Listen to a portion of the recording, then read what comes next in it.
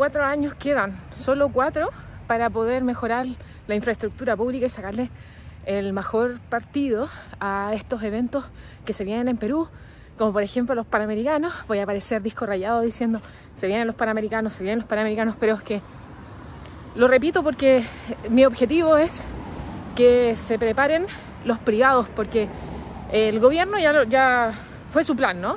El plan del gobierno es que se hagan los Panamericanos en Perú. Se consiguió, se logró, participaron en el sorteo y lo ganaron. Entonces el gobierno ya tiene listo su objetivo y ahora va a empezar a cumplir con sus metas para poder llevar esto a cabo. Pero, ¿qué cosas se necesitan? Además de lo que va a invertir el gobierno para que los panamericanos puedan obtener el mejor provecho posible. Una de las cosas que se necesita es, por ejemplo, un hospedaje, la hotelería. Yo tengo que viajar, por ejemplo, en esa fecha, voy a querer grabar videos, algunos canales de televisión van a hacer lo mismo, van a querer grabar videos, y para eso tienen que tener un lugar donde hospedarse. Y yo me voy a querer hospedar en un lugar que me quede cerca porque voy a querer cubrir el evento, pero también quiero que el hotel sea acogedor. Mientras mejor duerma el visitante, el turista, el periodista, el deportista no, porque al deportista le tienen que dar una, una vivienda, ¿no? Pero mientras mejor viva o esté esa persona, más agradable y más confortable va a ser eh, el evento cubierto. Con esto me refiero a que los hoteles que están en el casco histórico de Lima tienen que ya pensar en cómo hacer que, que la visita del, del turista sea agradable. Y ahí quiero tocar un punto importante que a lo mejor ustedes me van a criticar y me van a hacer pedazos, pero yo lo hago con todo el respeto. con esto me quiero referir, por ejemplo, al Hotel Bolívar. El Hotel Bolívar es conocido al turista lo primero que nos dicen es que ahí se inventó el pisco sour.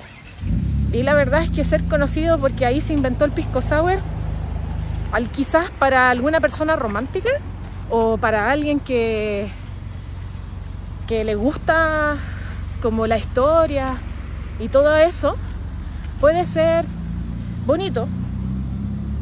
Pero la verdad es que yo hospedarme en el Hotel Bolívar me da un miedo atroz porque se ve un espacio antiguo, eh, tiene cosas bonitas, sí, tiene homenajes, tiene, tiene, no sé, como, digamos que tiene elementos coloniales importantes del virreinato y todo eso. Y no está mal, pero el hotel no es un museo. O sea, no, no tenemos que pensar que el hospedaje tiene que ser un museo. Yo no me quiero hospedar en un museo, la verdad. Sería bonito ir a una fiesta chic to chic. Que, por ejemplo, el Hotel Bolívar tenga una fiesta con una temática en la que yo quizás me vista en algún momento como una época antigua, que me haga esos peinados, que, haya, que exista, por ejemplo, un día podría hacerse un evento así, donde hayan maquilladores, donde haya, eh, no sé, atuendos, disfraces, para que se haga una actividad interesante. Sí, puede ser. Pero yo la verdad es que voy a preferir hospedarme en un hotel más moderno porque voy a querer dormir en una cama, en un colchón moderno, con un cubrecamas moderno blanco ideal, no tanta alfombra, no tanto ácaro, y si hay una alfombra que sea una alfombra moderna. Los panamericanos generalmente van muchos jóvenes. El deporte ustedes saben que lo practican más las personas jóvenes. Lo cubren personas mayores, pero se llena con personas jóvenes. Entonces el Hotel Bolívar quizás es bonito que se conozca como en el lugar donde se inventó el pisco sour, pero hay que remodelarlo tiene cosas bonitas, el auto antiguo ahí es bonito, pero solo me da para una visita, para quedarme ahí un, a ir a comer quizás las mejores, los mejores eh, happy hour del, centro histórico, dicen que son ahí. Yo lo fui, pero, pero es como pintoresco, es para ir una vez. Pero la idea es que las personas vayan todos los días y se queden ahí. Oye, juntémonos en el Bolívar. Oye, el Bolívar, el Bolívar, el Bolívar. Siempre que sea el hotel importante, el hotel del centro, el hotel moderno. Con el Mauri, que es el hotel, el hotel Mauri o Bar, Bar Morris y el hotel Mauri, ya también ahí dicen que ahí realmente se inventó el pisco sour, sí. hay, una, hay una pelea entre los dos hoteles. Pero la verdad es que hay un video que yo hice, grabé en, para el canal, si lo quieren ver me lo piden, donde yo muestro cómo son todas las habitaciones y cómo esto... Y el hotel no es que sea feo, pero al ser antiguo y tener esa decoración, la verdad es que no se puede cobrar, no se puede cobrar como lo que se cobra en otros hoteles más modernos. Y no podemos decir que la ubicación es mala, la ubicación es buena, porque estar en el centro es una ubicación buena. De hecho, bueno, hace algunos años, por lo menos en Chile, el metro cuadrado más caro estaba en el centro de Santiago, en el casco histórico. Pero no lo sé, no lo he averiguado, pero por lo menos en Chile por muchos años fue así. Entonces yo lo que quiero decir con esto es que tenemos que pensar en remodelar un poco para estos panamericanos y para todas las actividades que se vienen, porque los panamericanos no son los únicos, se vienen muchos eventos. Y el, centro histórico, el casco histórico está preparado para eso. Tiene, no sé, la infraestructura para hospedar a personas ahí y que, y que se queden ahí, que se sientan confortables y que se sientan con un olor a, nuevo y no a viejo. Eh, a mí no me gusta, me entristece un poco que un hotel tan conocido, tan importante, tan reconocido que haya hospedado a personas. Ustedes se dan una vuelta por el Bolívar y hay fotos de personas importantes que han visitado Lima y se han quedado ahí.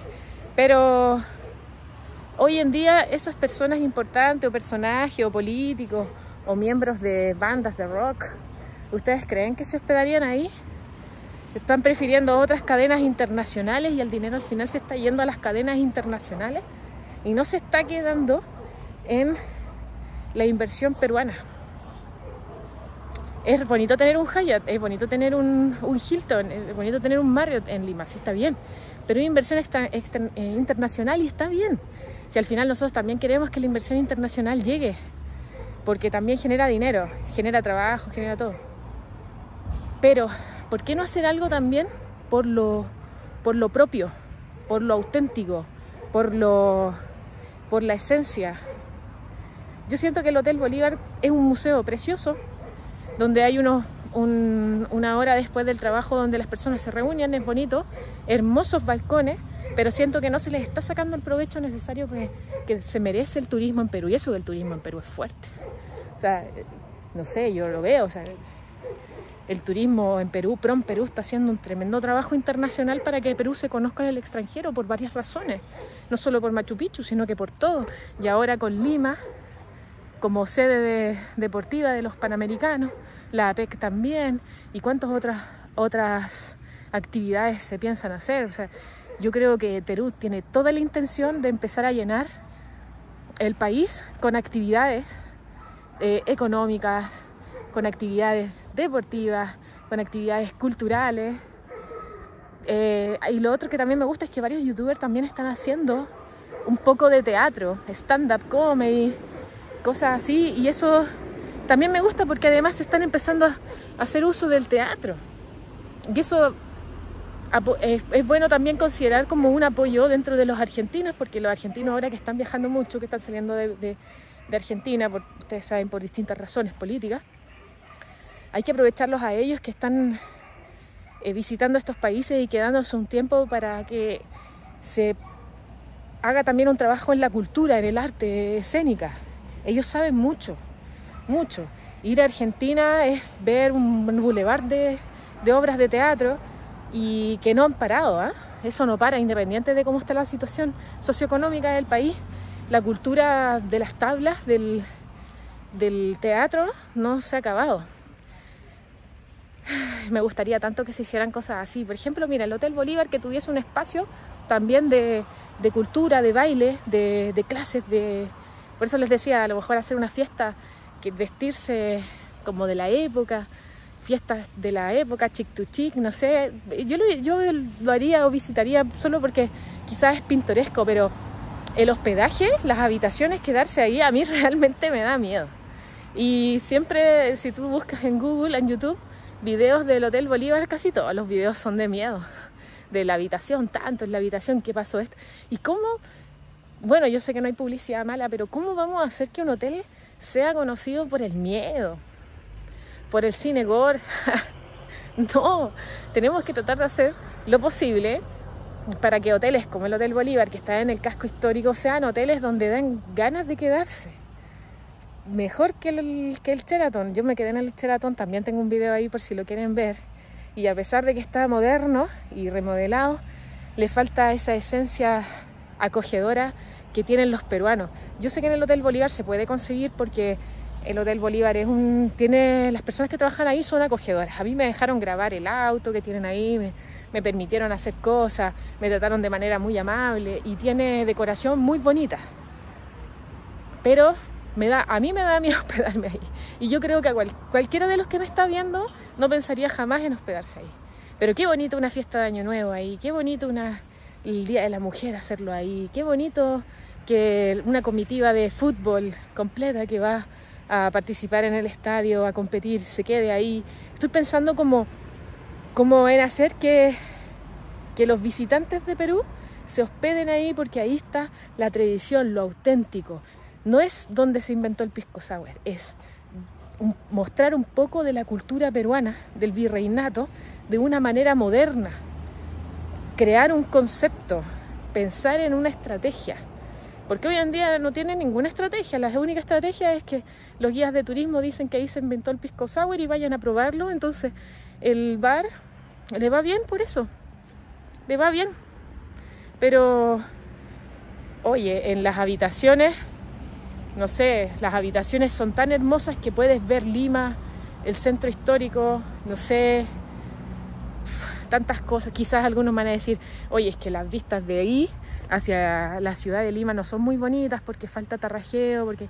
pero ¿saben qué? Eso no importa, porque el turista tiene que ver eso, cómo es Lima, porque así también nosotros notamos el progreso y vemos un antes y después, porque yo les aseguro que la preocupación de todos, que es la falta de tarrajeo, la falta de orden, la falta de, de no sé, de como de preocupación de la estética, eso se va a acabar, se va a acabar pronto, en cualquier minuto se va a empezar a, invertir un poco más en arte, en cultura. último, si falta tarrajeo, se va a trabajar en pintura. Pero hay que empezar, hay que pensar por lo grande, hay que empezar por lo macro. Cuatro años para los panamericanos. Hay que siempre ponerse metas en la vida. Y quizás va a haber algún, no sé, estoy pensando en la Olimpiada, un Mundial, algo más grande quizás va a haber. Puede ser, puede ser. Pero mientras tanto tenemos esto y pongámonos la meta de aquí a cuatro años hacer cosas en el lado privado, porque el lado público va a hacer su trabajo, pero en el lado privado también hay que hacer algo. Siempre responsabilizamos que el gobierno, que el gobierno, que el gobierno. ¿Y el privado qué hace? Bueno, sumémonos a la campaña del paso a paso y desde hoy todos los que me están viendo y que conducen un automóvil, cuando lleguen a la esquina y vean que una persona quiere cruzar la calle, déjenlos pasar. Partamos por algo, un granito de arena. Si ven a alguien en la esquina y ven un paso de cebra, déjenlo pasar. Díganle, pase. Así se dice en Chile, pase, pase, adelante. Partamos por algo. Y créanme que los cambios parten por uno. Ojalá que los hoteles del centro histórico me escuchen. Yo encantada de poder ayudar. Ojalá me, me llamen para dar ideas. Yo feliz, feliz. Y, y si no, que lo haga quien lo tenga que hacer, porque si se hace, créanme que yo voy a ser la primera en ir a hospedarme una semana ahí, si es que está todo remodelado. Y, imagínense las noticias, imagínense los diarios. Hotel Bolívar, la nueva cara del Hotel Bolívar. Una experiencia inigualable en los aeropuertos. Conoce cómo se, vive, cómo se vive una experiencia turística en un hotel del virreinato. No sé, estoy pensando así como cómo el marketing de una remodelación podría recuperar la inversión. Es caro, es caro, pero yo estoy segura que hay varios inversionistas que estarían dispuestos a poner ahí un poco de dinero, trabajar como con franquicia, quizá o con, un modelo de negocio en el que yo soy socio y me puedo hospedar, hospedar no sé, 10 veces al año gratis, si pago una cuota mensual. Eso no lo estoy inventando yo, eso existe. ¿Y por qué no hacerlo con una cadena peruana, con un restaurante peruano, o sea, perdón, con un hotel peruano que es conocido en el turismo? Y todos los guías te llevan ahí. Que estén bien, nos vemos. Suscríbanse, dejen pasar a las personas en la esquina si van manejando Dejen que las personas crucen en el paso de cebra y que no crucen corriendo. Y nos vemos en el siguiente video. Déjenme un comentario sabio. Que estén bien. Chao.